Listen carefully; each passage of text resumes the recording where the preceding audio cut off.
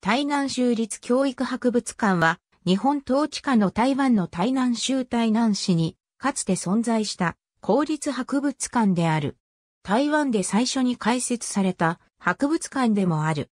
1901年、日本が台湾の統治を開始してから6年目に、台南県は北白川の宮下湯遺跡の隣に台南県博物館の開設を計画し始めた。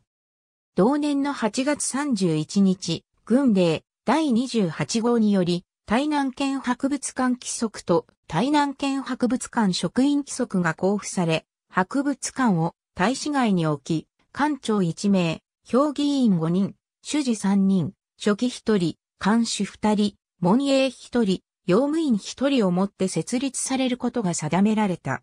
1902年6月26日、博物館が正式に開館し、一般公開された。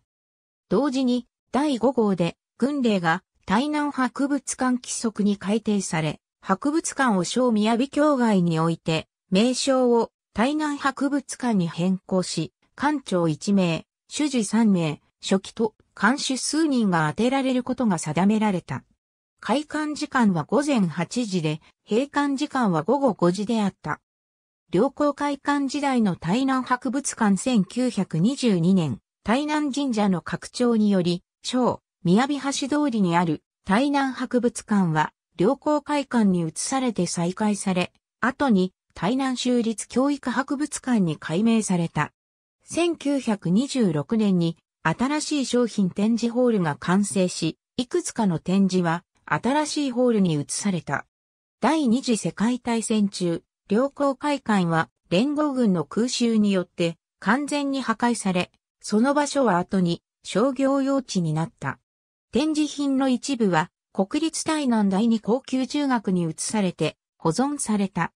台南神社となった小宮城境外時代の初代博物館跡地は戦後は中列祠、台南市立体育館、市の駐車場及び公園用地など用途が変遷していたが、2019年に台南市美術館として生まれ変わった。木美術業の創設者である、巨文流は、子供の頃しばしば博物館を訪れ、将来博物館を開くことを決意した。巨文流の決意は、木美博物館を開設したことによって実現された。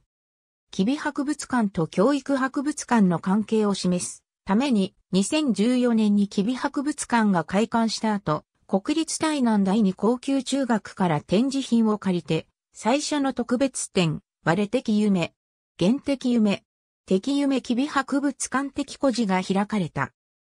ABC 鎮その南、大竹県。消失博物館記憶早期、台湾的博物館歴史。台北、国立台湾博物館。ISBN 9兆7898億6021万7582日地不税文化新地表台南市美術館27日。正式英文。中央通信社。https コロンスラッシュスラッシュ www.setn.com スラッシュニュース .aspx ニューザドイコール49万787キビ博物館。巨分流園夢小路特典。連合法。https コロンスラッシュスラッシュビデオ .udn.com スラッシュニューススラッシュ270814。ありがとうございます。